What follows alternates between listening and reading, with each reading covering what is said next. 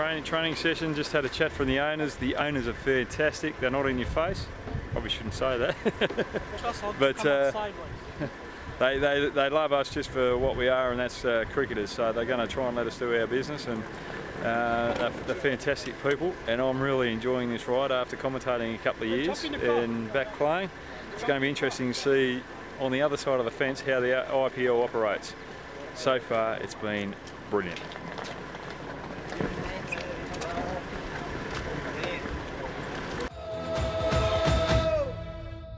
مهلب